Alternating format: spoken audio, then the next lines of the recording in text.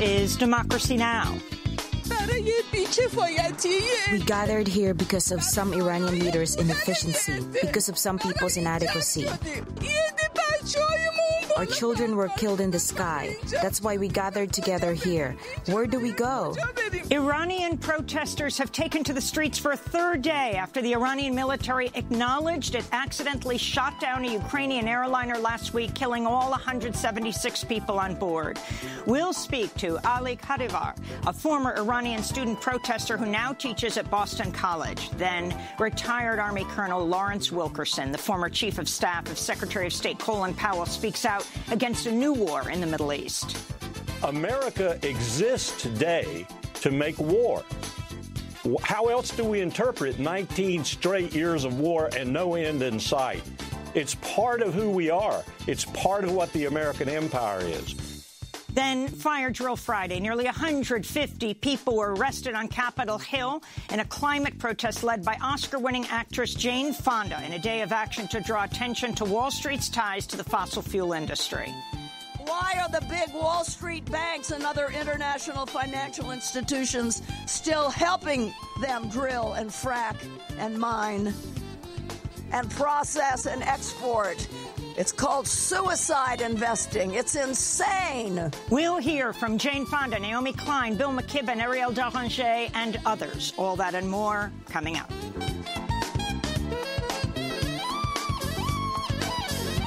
Welcome to Democracy Now!, democracynow.org, The War and Peace Report. I'm Amy Goodman. Defense Secretary Mark Esper has acknowledged he did not see specific evidence that Iranian General Qasem Soleimani was planning attacks against U.S. embassies at the time U.S. forces assassinated him in a drone strike at the Baghdad International Airport a week ago Friday. This is despite Trump's claims Soleimani was planning to attack embassies. I can reveal that I believe it would have been four embassies, but Baghdad certainly would have been the lead. But I think it would have been four embassies, could have been military bases, could have been a lot of other things too. But it was imminent. And then all of a sudden, he was gone. That was President Trump speaking on Fox on Friday. But this is Secretary of Defense Esper speaking with CBS Face the Nation host Margaret Brennan Sunday. He didn't cite a specific piece of evidence. What he said is he probably, he believed. Are you saying there wasn't been. one? I didn't see one with regard to four embassies. What I'm saying is I share the president's view that probably my expectation was they were going to go after our embassies. NBC is reporting President Donald Trump authorized the killing of Qasem Soleimani seven months ago. Meanwhile, the Washington Post has revealed U.S. forces unsuccessfully attempted to assassinate a top Iranian commander in Yemen on the same day that the U.S. killed Soleimani in that drone strike in Baghdad, suggesting Soleimani's death was part of a large U.S. campaign to target Iranian commanders. Abdulreza Shahlai, the commander of the Yemen division of Iran's elite Quds Force, Force survived the assassination attempt that killed at least a member of the Quds Force. This all comes as Wall Street Journal reports Trump reportedly told associates after Soleimani's killing that he'd been facing pressure to deal with Soleimani from Republican senators that he viewed as important supporters in his upcoming impeachment trial in the Senate. Iranian protesters have taken to the streets for a third day after the Iranian military acknowledged it accidentally shot down a Ukrainian airliner last week, killing all 176 people on board. Iran initially denied downing the plane, but then Iran's Revolutionary Guard took responsibility for what authorities described as a disastrous mistake. The plane headed to Kiev, Ukraine, was down just uh, just after Iranian forces fired 22 rockets at military bases in Iraq housing U.S. troops in retaliation for the U.S. assassination of the Iranian commander, General Qasem Soleimani. There are reports Iranian forces have fired live ammunition and tear gas to disperse the protesters.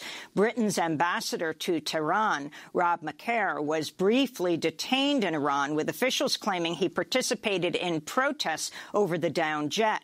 Ambassador Macaire denies being at the protests. He said he was attending a vigil. The victims of the plane crash included 82 Iranians and 57 Canadians. Among those killed was indigenous Iranian PhD student Ghanimat Azhdari. In impeachment news, the House of Representatives is expected to vote this week to name their impeachment managers and send the articles of impeachment to the Senate. Three Republican senators have said they want the Senate to call former National Security Advisor John Bolton as a witness during the Senate impeachment trial. Utah Republican Senator Mitt Romney, Alaska Republican Senator Lisa Murkowski, and Maine Republican Senator Susan Collins.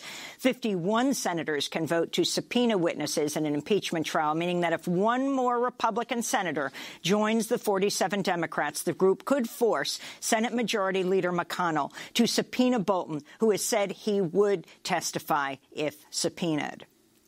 In election news, Vermont Senator Bernie Sanders has been endorsed by one of New Hampshire's largest and most influential labor unions, SEIU Local 1984.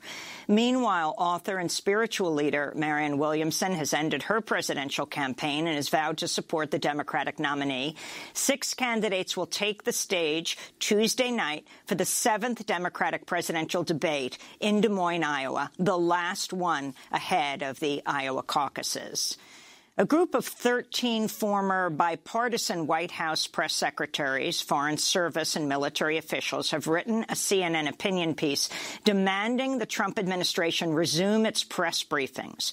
White House Press Secretary Stephanie Grisham has yet to hold a single briefing since becoming President Trump's chief spokesperson in July. In immigration news, BuzzFeed reports the Trump administration has been preparing to expand its travel ban, which already bars citizens of seven mostly majority Muslim countries from entering the United States. The draft documents obtained by BuzzFeed don't have the name of the countries being considered, but there are reportedly seven slots for countries presenting a, quote, risk of, quote, terrorist travel. This comes as Texas Republican Governor Greg Abbott announced Friday his state will no longer accept refugees this year, becoming the first state to officially reject refugee resettlements under a new Trump administration rule issued in September. Meanwhile, in Ciudad Juarez, Mexico, state police have evicted at least 100 Mexican and Central American asylum seekers from a camp near the U.S. border, threatening to separate parents from their children if the asylum seekers don't move. The threatened separation of families recalls the Trump administration's policy of forcibly separating parents from their children during the zero-tolerance crackdown that began in 2018. And in more immigration news, at least 12 migrants have died after their boat sunk in the Mediterranean as the group attempted to reach Italy. In the Philippines, authorities are urging nearly half a million people near the capital, Manila, to evacuate their homes after the Taal volcano spewed ash into the air Sunday. Authorities are now warning about a possible explosive eruption or volcanic tsunami. The Taal volcano is one of the world's most dangerous volcanoes. Meanwhile, in Puerto Rico, a 5.9 magnitude earthquake rattled the island Saturday. There have been powerful tremors almost daily after a 6.4 magnitude earthquake struck Puerto Rico last week, knocking out power. About 96 percent of electricity customers in Puerto Rico have had their electrical service restored by Sunday. In France, the government is backing down on its effort to raise the retirement age as transportation workers and other unions continue a massive strike now entering its sixth week. On Saturday, the French government caved to some of the protesters' demands and said it would temporarily scrap the proposal to raise the full benefits retirement age, the most controversial part of French President Emmanuel Macron's proposed pension overhaul. Despite the concessions, some unionized workers remain on strike today across France. In Taiwan, voters re-elected President Tsai Ing-wen in a rebuke to Beijing. President Tsai has promised to preserve Taiwan's sovereignty, even as China has tried to exert more political power over Taiwan. Saturday's election in Taiwan comes amidst months of protests in Hong Kong, where demonstrators are calling for increasing political independence from mainland China. In Malta, lawyer Robert Abela is slated to be sworn in as Malta's next prime minister today after the former prime minister, Joseph Muscat, was forced to resign over the murder of investigative journalist Daphne Caruana Galizia. Malta's richest man, the gambling tycoon Yorgen Fenech, has been charged with complicity in the journalist's murder and has been arrested in a separate money laundering case. Fenech is also linked to Muscat's former chief of staff. Two Iraqi journalists have been assassinated in the southern city of Basra, sparking fear among journalists across Iraq. Local television correspondent Ahmad Abdel-Samad and his cameraman Safaa Ghali were killed in a drive-by shooting. Meanwhile, in Mexico, radio presenter Fidel Avila Gomez was found dead in the state of Michoacan last week, marking the first murder of a journalist in Mexico this year. The Committee to Protect Journalists says Mexico is one of the world's most dangerous countries for journalists, with more journalists murdered there last year than in any country except Syria. An Illinois judge has ordered the Chicago Police Department to turn over documents detailing nearly five decades of misconduct allegations against police officers. Judge Allison Conlon ordered the police department to turn over the files after ruling the department had willfully and intentionally failed to comply with the Illinois Freedom of Information Act. The documents will be published on the website of the Invisible Institute, which covers police misconduct and abuse in Chicago. The game show Jeopardy has sparked outrage. Uh, Church 200. Built in the 300s AD, the Church of the Nativity. Katie. What is Palestine? No. Jack? What is Israel? That's it. And that takes you to 2200. You're still in third place, however, which of course means that you get to go first in Double Jeopardy. In fact, the Church of the Nativity is located in the Palestinian territory of the West Bank, which is occupied by Israel in violation of international law. Palestinian human rights activists have called on Jeopardy to apologize. In New York City, at least 100 women protested against accused sexual predator Harvey Weinstein outside the Manhattan courthouse, where the disgraced Hollywood mogul is standing trial for rape. Patriarchy is our judge.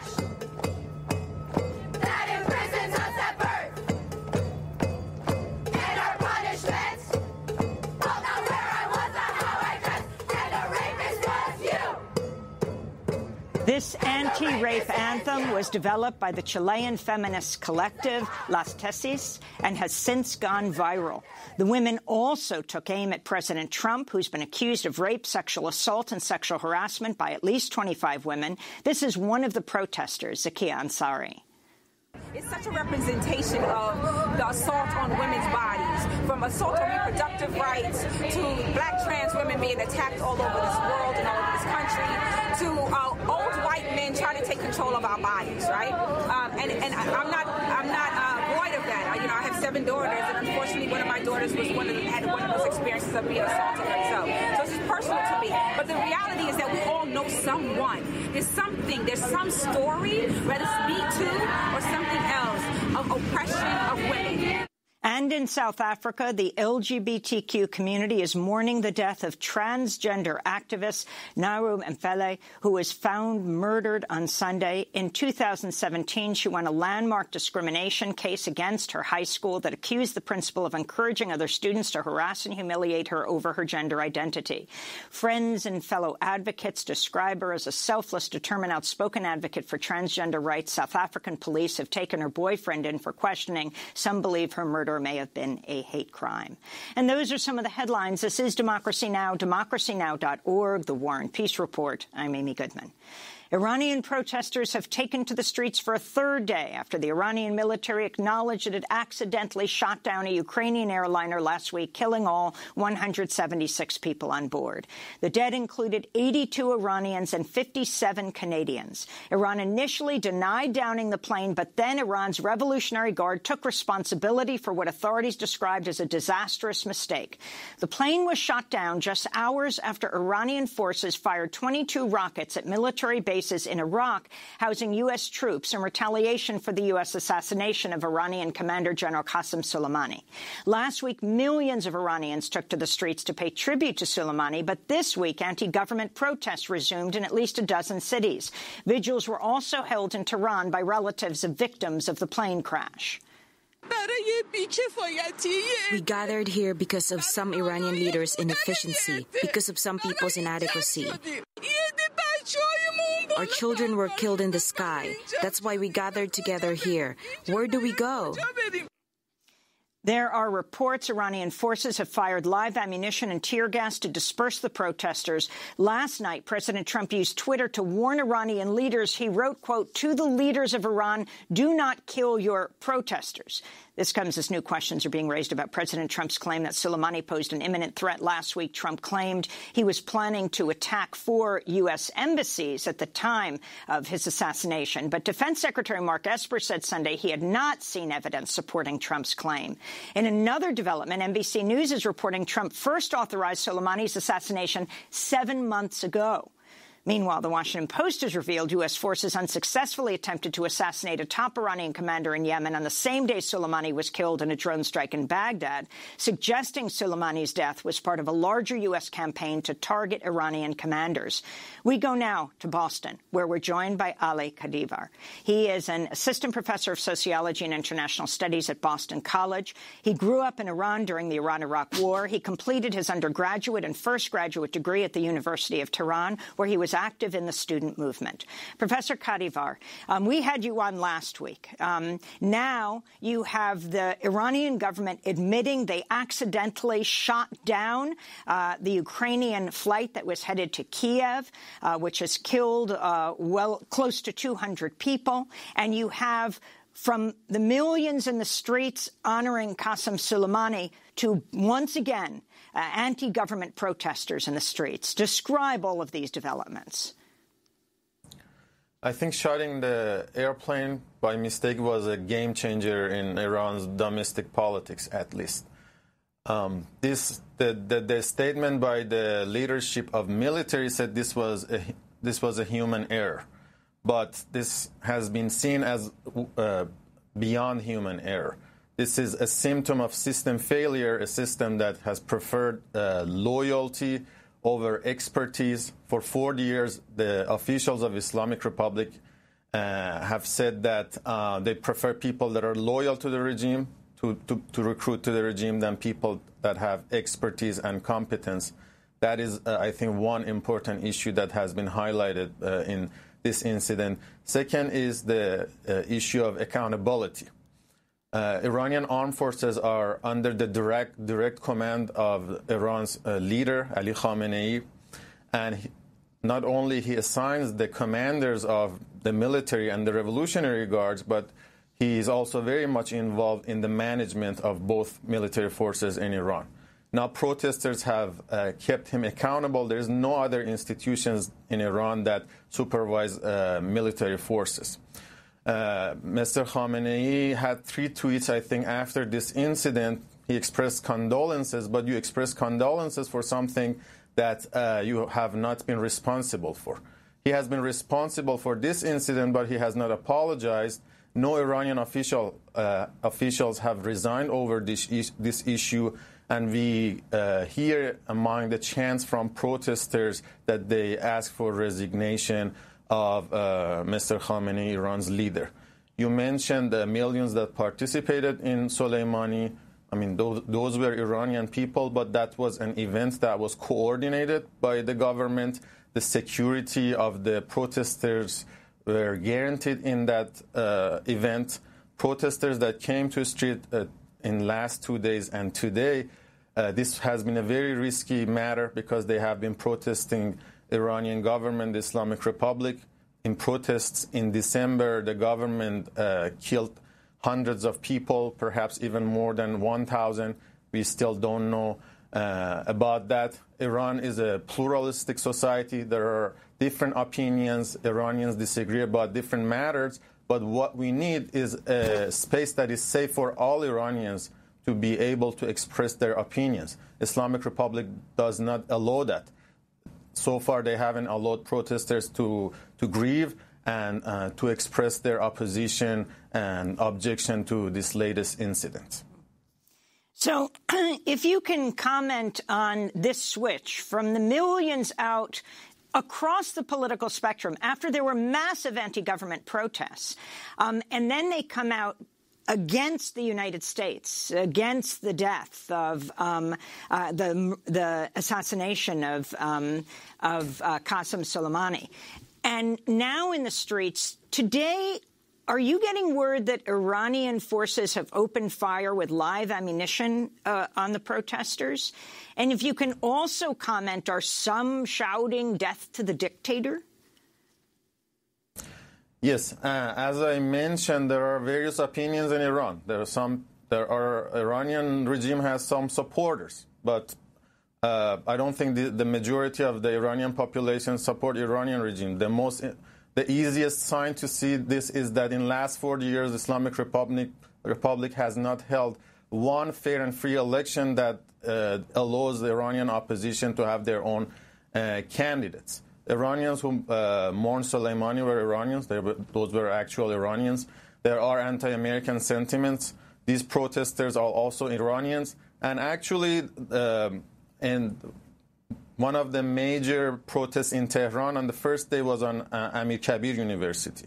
The students of Amir Kabir University, part of the students, released a statement that condemned oppression and autocracy in the country. You mentioned death to dictator. Yes, they are targeting uh, Mr. Khamenei, Iran's leader, as a dictator. He has the biggest share of power in the Islamic Republic. He's not accountable to any other institutions. He has not held a press conference ever. Uh, he's not accountable to Iranians, to, to, the, to the press, or to any institutions within Islamic Republic. So they, uh, uh they count him accountable. But in the same statement, they also opposed Americans' presence in the region. So Iranian students are opposing both autocracy in the country and also imperialist presence in the region. They said American presence has only brought insecurity and chaos to the region. But the, the students in this statement have emphasized that uh, the government cannot hide behind imperialist propaganda to suppress Iranian people and to not allow Iranians to express their opinion. What have they called for? Yes. Keep going. They have called uh, for a return to popular politics.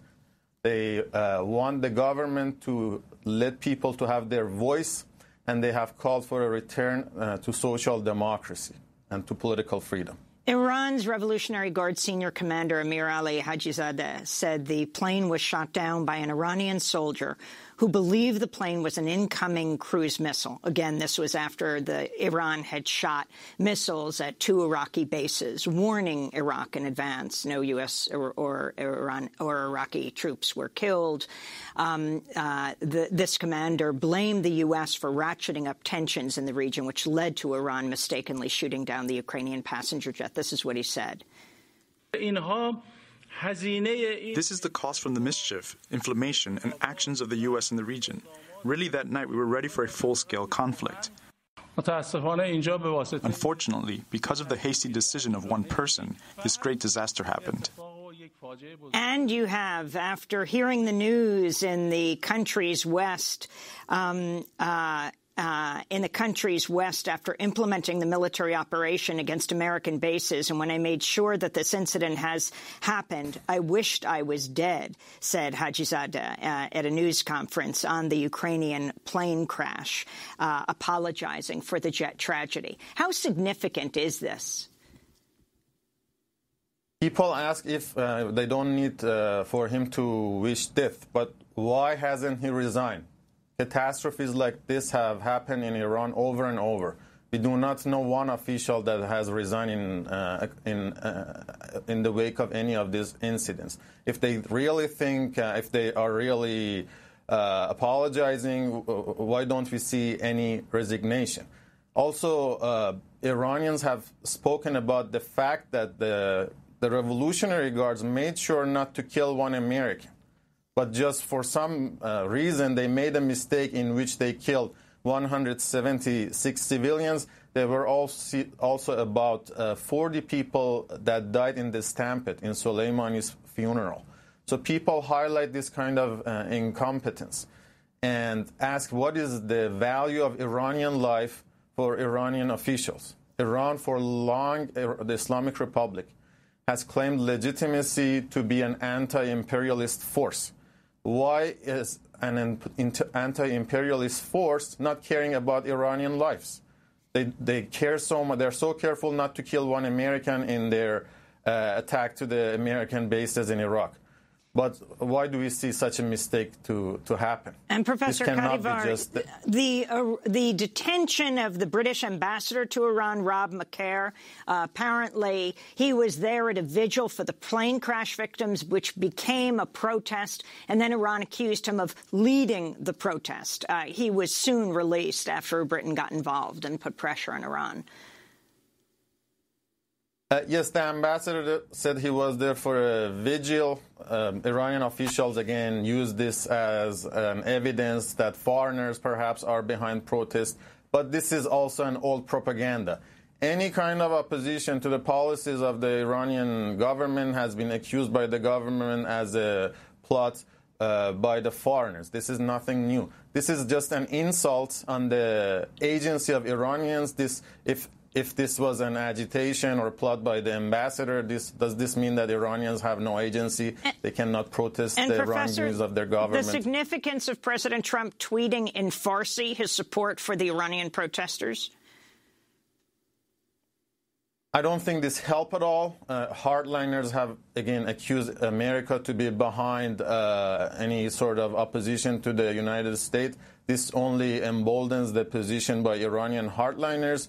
I personally do not see any sincerity in President Trump's tweets. He has banned Iranians from entering the United States. He has put uh, sanctions that have hurt ordinary people, and he, have, he has threatened to destroy uh, cultural sites in Iran. I do not think that President Trump really cares for Iranian people. Ali he has made also alliance yeah. Ali Kadivar, I want to thank you That's so it. much for being with us. Assistant Professor of Sociology and International Studies at Boston College, grew up in Iran during the Iran-Iraq War, completed his undergraduate and first graduate degree at University of Tehran, where he was an active in the student movement. When we come back, we go to retired Army Colonel Lawrence Wilkerson, the former Chief of Staff of Secretary of State Colin Powell.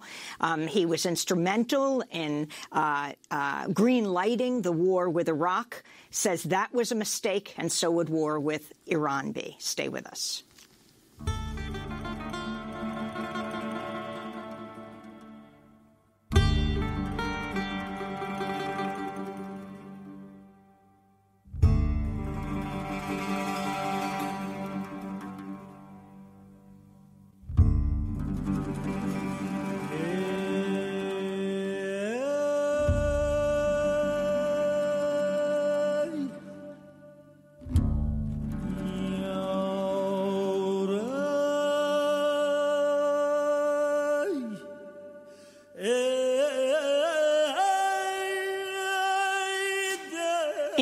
Solitude by Hafez and Shahram Nazeri. This is Democracy Now! I'm Amy Goodman as we continue to look at U.S. policy in the Middle East with retired United States Army Colonel Lawrence Wilkerson, who serves as Chief of Staff to Secretary of State Colin Powell from 2002 to 2005. Wilkerson witnessed and participated in the effort by President George W. Bush, Vice President Dick Cheney, and others to promote lies to justify the disastrous illegal invasion of Iraq in 2003. Colonel Wilkerson helped Secretary of State Powell prepare his infamous February 5, 2003 speech before the United Nations Security Council, where Powell falsely claimed Iraq was hiding weapons of mass destruction. Wilkerson and Powell would later say the CIA lied to them. I talked to Colonel Wilkerson last week and asked him about the parallels between the escalation between the U.S. and Iran today and the 2003 run-up to war with Iraq.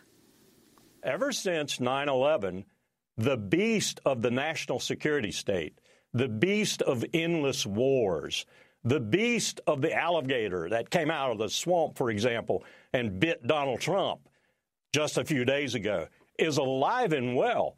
America exists today to make war. How else do we interpret 19 straight years of war and no end in sight? It's part of who we are. It's part of what the American empire is. We are going to lie, cheat, and steal, as Pompeo is doing right now, as Trump is doing right now, as Esper is doing right now, as Lindsey Graham is doing right now, as Tom, Tom Cotton is doing right now, and a host of other members of my political party, the Republicans, are doing right now. We're going to cheat and steal to do whatever it is we have to do to continue this war complex. That's the truth of it, and that's the agony of it. What we saw President Trump do was not in President Trump's character, really. Those boys and girls who were getting on those planes at Fort Bragg to augment forces in Iraq, if you look at their faces, and even more importantly, if you look at the faces of the families assembled along the line that they were traversing to get onto the airplanes, you saw a lot of Donald Trump's base. That base voted for Donald Trump because he promised to end these endless wars. He promised to drain the swamp. Well, as I said, an alligator from that swamp jumped out and bit him. And when he ordered the killing of Qasem Soleimani, he was a member of the national security state in good standing. And all that state knows how to do is make war. I want to turn to President Trump. We took action last night to stop a war. We did not take action to start a war. George W. Bush had the opportunity to assassinate Soleimani. Uh, President Obama had the opportunity to assassinate Soleimani. Um, they didn't. Trump did. And you had dealings with Soleimani. Uh, you were just explaining in part one of our discussion what he uh, did in Afghanistan and how Vice President Pence was lying when he talked about him being involved in the 9 11 attacks. Here you have one of the most egregious things of what we did, and one of the biggest reasons that neither of the two previous presidents decided to do what Donald Trump did. We have just, as we did with torture from 2002 to 2007, 2008, as we substantiated for the world that torture was okay, we have now okayed the killing of recognized members of other states' government. That's what Soleimani was no matter how heinous we may paint him. He was a member of an established state's government, and we assassinated him. That is a very dangerous precedent to have set. You may have heard the members of the Russian Duma, Vladimir Putin himself, and others in Russia talking about this dangerous precedent. Um, had it been the Israelis who did this, Amy, they would have done it and sent flowers to Tehran. It would have been completely covert. There would have been no boasting, no public thumping of the chest, and so forth. That's the narcissist in the White House that caused that to happen. But even if you were doing it that way, you would have to think about this consideration that eventually it would become public that you had done it, and you, by doing it, had sanctioned the killing of other state actors. Now, what we're looking at here, for example, let's just put the shoe on the other foot. We're looking at someone coming in to Washington and assassinating one of our leaders, whether it be a congressman or a member of the executive branch or someone else. We have just sanctioned that. We have become the law of the jungle rather than, as we have been since 1945, the greatest supporter of international law and the rule of law in general across the face of the globe. With torture and with killing other state recognized individuals of their government, we have become the tiger, the lion, the bear, the alligator in that jungle. It's not a very, very good precedent to have set, as the Russians indicated. The Chinese have said similar things. It's a terrible precedent to have set. And now we have to steel ourselves for what the reaction might be. And as I said earlier, the strategic initiative is now in Tehran's hands. They can decide now whether or not it's a major escalation that they perpetrate or just something that sort of fritters away over time and doesn't cause the U.S. to execute a bombing package against the targets, for example, that Donald Trump has suggested. I don't want to be in that world, but that's where we are. Al Sistani said it best in Iraq. Um, Al Sistani, by the way, was a big help to us in 2003 and 2004 when the insurgency was developing that Donald Rumsfeld, of course, said wasn't there. Al Sistani helped. And his statement the other day that he did not want Iraq to be the battleground of settling scores was a perfect description of what is happening. Donald Trump is trying to settle a score, and it's everything from he doesn't want to do what Obama did to he thinks his maximum tension campaign is working when it's not. That's all it's about. And incidentally, we have another failure in diplomacy perpetrated by Donald Trump developing right now in the Korean Peninsula. So wait until you see what the strategic results are of Kim Jong un's posturing on the peninsula and Iran's at the same time. We used to have a saying in the Pentagon when we were doing war planning We hope that the North Koreans and the Iraqis at that time, now the Iranians, don't decide to collude and attack at the same time. Well, Donald Trump has set that kind of strategic situation up now with two major diplomatic failures, mostly because of the narcissism and the lack of confidence that he himself has exhibited, but also because of the national security state and its desire to keep these wars going. Can you elaborate on what Soleimani did back when you were in the Bush administration? You were working with him. Well, what we had in the first days of our reaction in Afghanistan was not really a military action. It was a CIA action. Donald Rumsfeld actually got furious with the Army because he couldn't get into Afghanistan fast enough. If you look at a map, you'll see why he couldn't get into Afghanistan fast enough.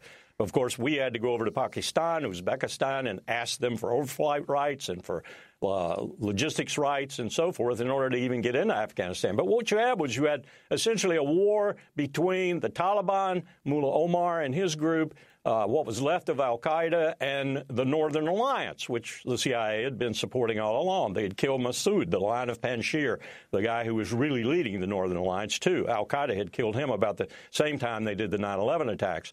So it was really chaotic. When we did get some special operators in, and we got a lot of aircraft in with, of course, precision guided munitions, then we began to turn the tide, and we began to get to a situation where I can tell you we were all almost apoplectic at the time. We didn't know who was going to invest Kabul. We didn't know that we hadn't just turned Kabul over to the Northern Alliance and thus to a continuation of the last 30 years of warfare. So we were very anxious to make sure everything worked the way we wanted it to after that so called victory. And one of the people, one of the groups that helped us the most, as you might imagine, were the Iranians because the Iranians looked at the Taliban as their enemy too. You may recall that the Taliban had killed some Iranian diplomats and others uh, in the months prior. So the Iranians were all for our eliminating the Taliban as the legitimate government of Afghanistan and so pitched in to help.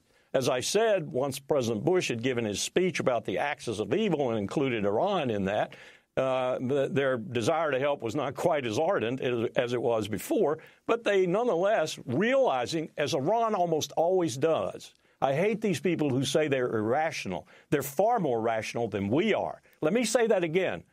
The leadership in Tehran is far more rational than the leadership in Washington.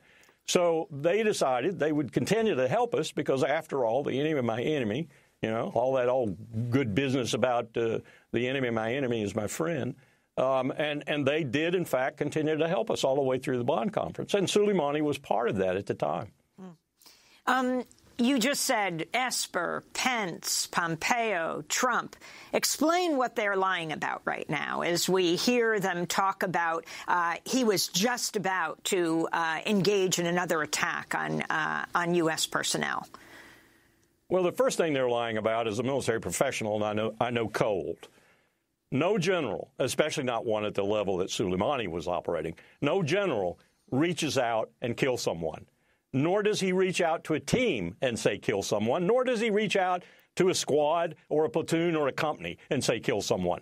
He gives orders at the top, sets strategic purposes and principles and general guidelines. And he boosts morale and he travels around and he talks to the teams and so exactly what Soleimani was so good at. So to say that Soleimani himself personally was an imminent threat is, as I said before, laughable. And the fact that Esper and Pompeo, who have some manner of expertise in military affairs, are saying these things makes them even more egregious liars than otherwise.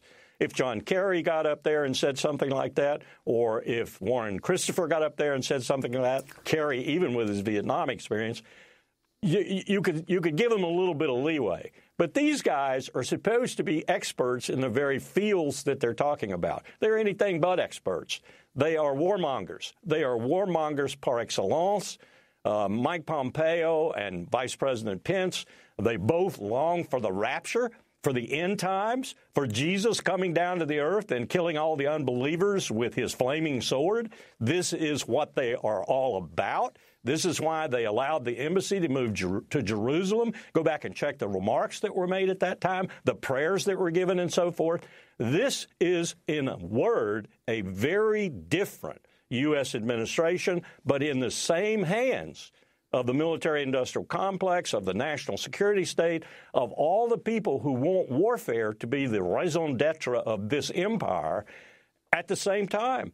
So you're, you're, you're looking at an incompetent leadership coupled with a leadership that's ruthless and brutal and knows where it wants to go. And with Iran, it's regime change, period. And if they have to go to war, that's what they want. And now they've got it to the point where it's going to be extremely difficult. I'd put the chances at 50 50 for us to extricate ourselves from this march to war. And this war will put Iraq to shame in terms of its consequences in blood and treasure. So I want to go to the reasons for it, and I know you have to leave, so we'll do this quickly. 2020 presidential hopeful Elizabeth Warren was speaking on CNN's State of the Union with Jake Tapper. Next week, the President of the United States could be facing an impeachment trial in the Senate. We know he's deeply upset about that. And I think people are reasonably asking why this moment? Why does he pick now to take this highly inflammatory, highly dangerous action that moves us closer to war? We've been at war for 20 years in the Middle East. We need to stop the war in the Middle East, not expand. Senator, are you suggesting that President Trump pulled the trigger and had Qasem Soleimani killed as a distraction from, his, from impeachment? Look, I think people are reasonably asking about the timing and why it is that the administration seems to have all kinds of different answers. So that's presidential candidate Senator Elizabeth Warren. Last week, right after the assassination, um, the Oscar-winning filmmaker Michael Moore tweeted uh, the New York Times front page from December 17th, 1998. The front page banner headline read, Impeachment vote in House delayed as Clinton launches Iraq airstrike, citing military need to move swiftly. Colonel Wilkerson, can you respond? For 15 years, Amy, I've taught this to over 400 students on two campuses. National security decision making is what it's called. One of the influences I emphasize is domestic politics.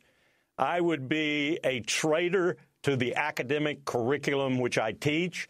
I would be a traitor to the truth if I didn't say, of course, that had something to do with it.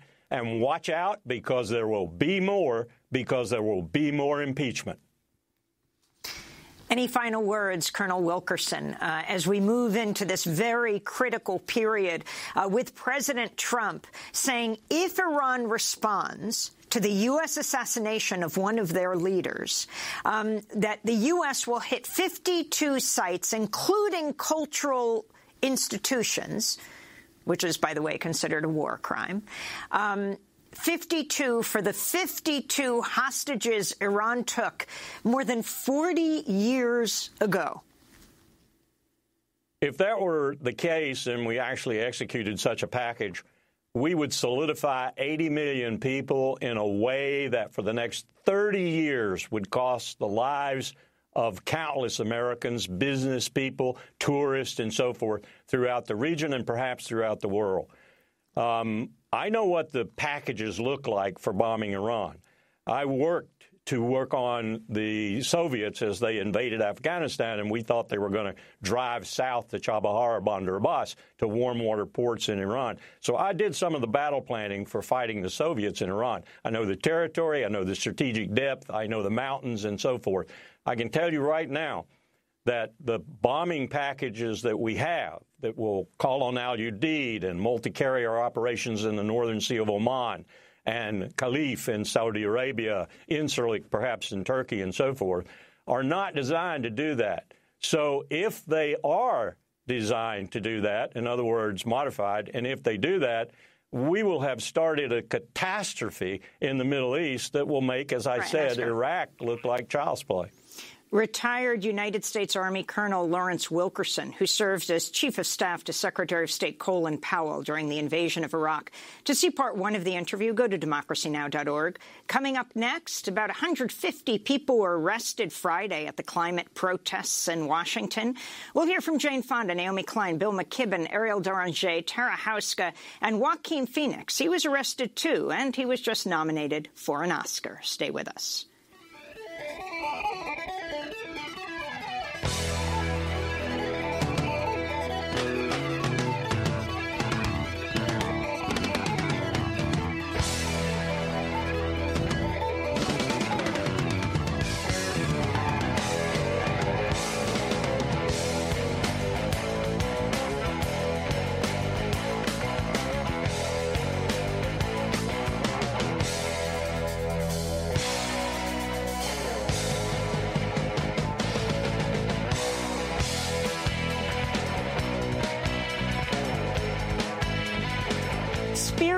Radio by Rush. Drummer and lyricist Neil Peart died last week at the age of 67. I'm Amy Goodman. This is Democracy Now! Nearly 150 people were arrested on Capitol Hill Friday in climate protests led by Academy Award-winning actor and activist Jane Fonda. Fonda's been leading weekly climate demonstrations in D.C., known as Fire Drill Fridays since October. For Fonda's last and 14th protest, actors Martin Sheen and Joaquin Phoenix, who was just today nominated for an Oscar, Ojibwe activist Tara Houska, journalist Naomi Klein and dozens more lined up to get arrested as they demanded a mass uprising and swift political action to thwart the climate crisis. Jane Fonda then marched with supporters down Philadelphia Avenue to uh, Chase Bank branch, where environmentalist Bill McKibben and more than 20 others were occupying the space to draw attention to the bank's ties to the fossil fuel industry.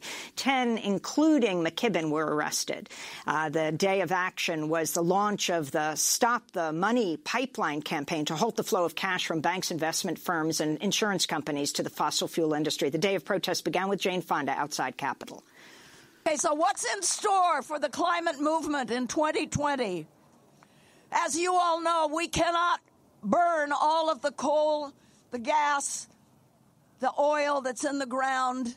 We cannot burn it all and stay within the parameters of what science tells us we must do. We have to cut our fossil fuel emissions by 50% in 10 years. That is a massive undertaking, and we can't do it if the fossil fuel industry keeps expanding. So, why are fossil fuel companies continuing to expand? Why are they still drilling and fracking and mining? And why are the big Wall Street banks and other international financial institutions still helping them drill and frack and mine and process and export? It's called suicide investing. It's insane. And one of the worst offenders is JP Morgan Chase. It's one of the largest sources of capital to the fossil fuel industry in their quest to drill and frack and mine. And we cannot let Chase and other financial institutions continue this way. And now I want to bring the woman, I want to bring her to the stage. Please welcome Naomi Klein. A lot of us are going to get arrested today. But let us remember that we are not the criminals. We are not the criminals. The criminals are the people who are letting this world burn for money. Those are the criminals. And we are going to clear away all of the debris, the debris of the climate change deniers funded by fossil fuel money. We are going to clear away the debris of the distractors, telling us everything else is more important. Trump's latest tweet, the royal family's fashions, all of that. Clear away that debris. Then we're going to clear away the debris of the doomers, the ones who are telling us it's all too late and we may as well just kind of relax and watch the world burn because they think they're going to be safe. We're going to clear away the debris of the doomers, and most of all, we're going to clear away the debris of the dividers, and we're going to build the most united and powerful movement that we have ever seen. Now, I want to introduce Tashina Sapawin Smith. She is Ita Zipko, Nyoko Jew, and Hunkpapa Lakota of the Cheyenne River Sioux Reservation. Right now, again, my ancestral homelands are facing yet another threat the Keystone XL pipeline, which will snake right underneath the Cheyenne River, for which my tribe is named. We will no longer stand by the decisions made by our world leaders for the sole purpose of profit. It is time now that we rise up. Rise up, my brothers and sisters. Rise up and stand against one million species extinction. Rise up and stand with the original caretakers of these lands, the indigenous people. Rise up and stand against cultural genocide, ecocide, environmental catastrophes, and illegal resource extractions. The time is now that we transition into a new era away from this fossil fuel addiction. The land for which we stand on has been taken by force to fuel this addiction to po- pollution, profit, and greed. It is time now, my brothers and sisters, to rise up and stand with the indigenous people. I'm going to give you Bill McKibben, who is not here. He is currently occupying the Chase Bank.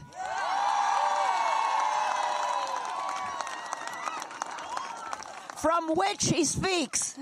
There's about 25 of us inside the Chase, uh, JP Morgan Chase Bank branch. And this really marks the not only the escalation of Fire Drill Fridays, but it marks the real national launch of this Stop the Money Pipeline campaign. Now, we've got to be here because Chase Bank is the single biggest funder of fossil fuels on planet Earth. They've put $196 billion into oil and gas over the last three years. They're the ones, they're the ones who are paying for the carbon bomb, okay? They're a carbon major just the way that Exxon or Chevron or Shell or BP are, are carbon majors. So that's why we're here today uh, doing civil disobedience and beginning what's going to be a winter and spring of massive civil disobedience, of massive unrest about the financial system. If banks like Chase Bank stopped funding the fossil fuel industry, they could not go on building pipelines. They could not go on making new coal mines and uh, building new LNG terminals and doing all the other things that are making our planet week by week less habitable.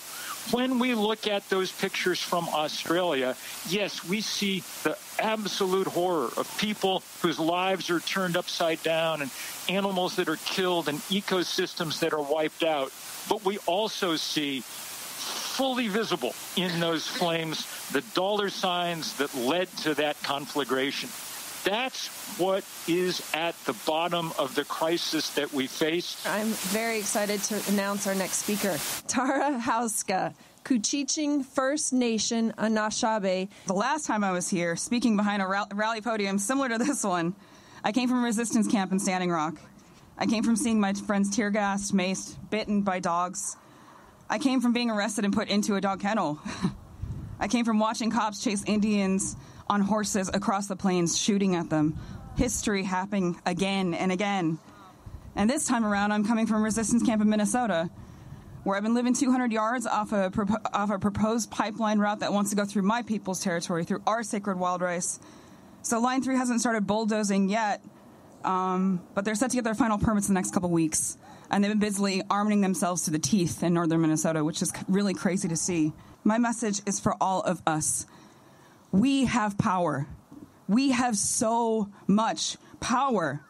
They pull out their tanks when we stand unarmed in front of their machines because they are afraid of us.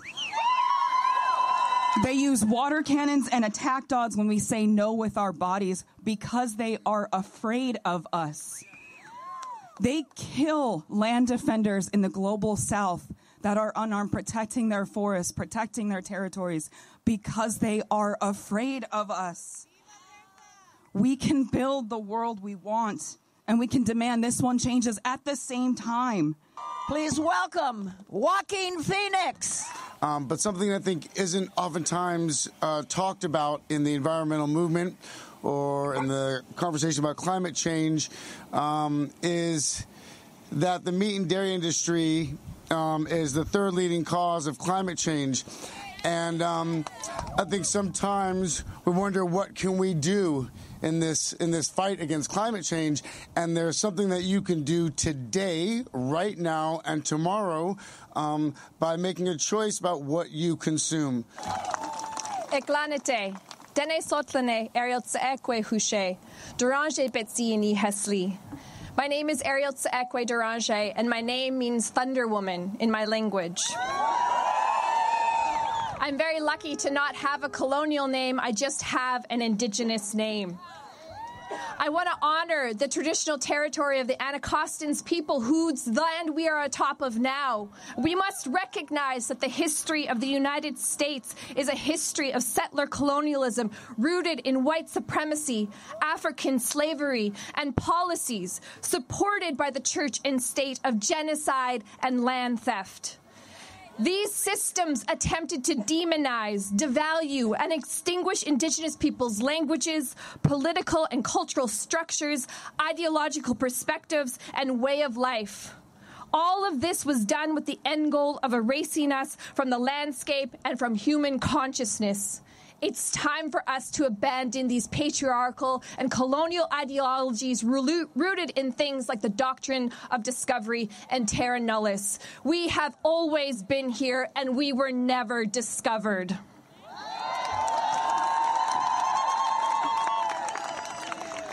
I come from the Athabasca Chipewyan First Nation in Treaty 8 territory. We are Dene Sotlene people. Dene, the very core of that word, means to flow from the earth. The land is the very essence of who we are. Our identity is intrinsically linked to the land. It natures our bo- it nurtures our bodies, our mind, our culture, and our connections to our role on this planet as stewards. As Tara said, 5% of the global population is indigenous peoples, but we protect and steward 80% of the world's biodiversity. We occupy between 22% and 65% of the landmass. We are the protectors of the land. Today, humanity is facing a global crisis climate change.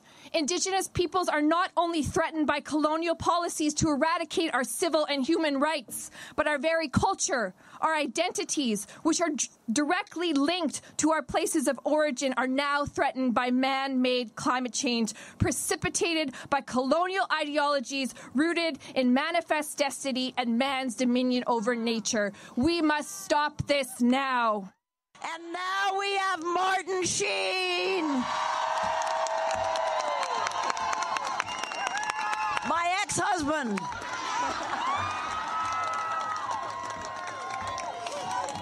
Thank you, Jane. This woman has been one of my heroes nearly all of my adult life. And clearly, the world will be saved by women. Thank God. Thank God they outnumber us men. You know, the Irish tell the story of a man who arrives at the gates of heaven and asked to be let in. St. Peter says, Of course, just show us your scars. The man says, I have no scars. St. Peter says, What a pity. Was there nothing worth fighting for? We are called to find something in our lives worth fighting for. Something that unites the will of the Spirit with the work of the flesh. Something that can help us lift up this nation and all its people to that place where the heart is without fear and the head is held high, where knowledge is free, where the world has not been broken up into fragments by narrow domestic walls, where words come out from the depths of truth and tireless striving stretches its arms towards perfection, where the clear stream of reason has not lost its way into the dreary desert sands of dead habit, where the mind is led forward by thee into ever widening thought and action into that heaven of freedom, dear Father. Let our country awake. Thank you. Actor Martin Sheen and more than 140 others arrested the fire drill Friday's climate protest in Washington, D.C. Special thanks to Chris Belcher. That does it for our broadcast. Democracy Now! produced by Mike Burke, Dina Guzder, Nermeen Sheikh, Carla Wills, Tami Woronoff, Libby Rainey, uh, Sam Alcoff, John Hamilton, Robby Karran, Hany Massoud, Nadura, Tay Maria Studio, Adriano Contreras, and Maria Taracena. Special thanks to Julie Crosby. I'm Amy Goodman. Thanks for joining us.